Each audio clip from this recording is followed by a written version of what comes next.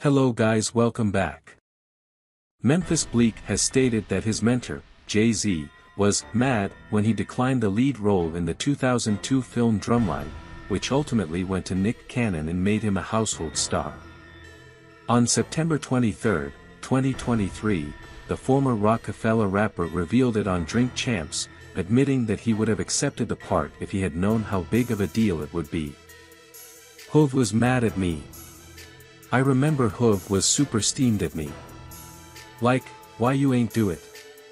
And I remember telling him, bro, I was scared. I've never acted. And I remember Hov, he paid for acting classes for me. Rap was everything to me then. Hip hop, it saved my life, so I didn't want to jeopardize that, Bleek concluded. Hov was mad at me. I remember Hov was super stinked at me.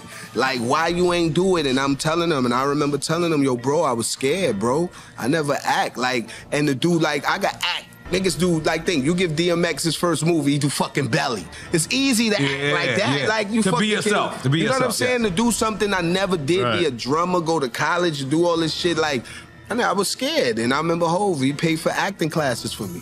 And I After never- that? yeah. But it's ill that they, the, day, the actual director wanted to He pay wanted for you me. to go to acting class. me specifically for that role was like Damn. I paid for acting classes and all that, and I turned it down. Was like, fuck Yeah, you definitely no, fucked In up. retrospect, you regret it? hell He, yeah, he just said here.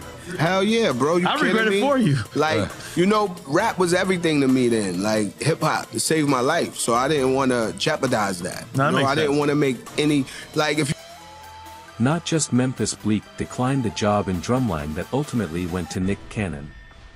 T.I. said in January of 2023 that he had also been considered for the movie's lead part but had declined it. T.I. said that Drumline might have been in his filmography if he had been able to play the drums during an interview on his successful acting career, which also includes appearances in American Gangster, ATL, Takers, and more on Shannon Sharpe's Club Shay Shay podcast.